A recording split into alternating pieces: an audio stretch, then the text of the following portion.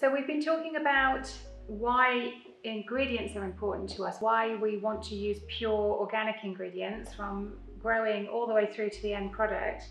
I also want to talk about why we don't use aerosols. Traditionally, dry shampoo is almost always an aerosol container. We don't want to do that for obvious reasons.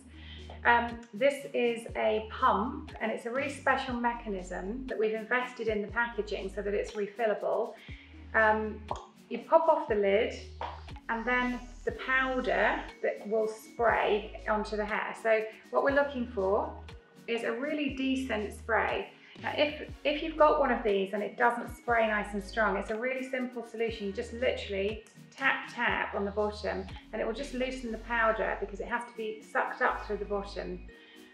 So just plenty of product, spray and shake into the hair and it's a very, very fine dusting of powder but it will instantly just lift that hair, absorb the oil and give volume to the hair.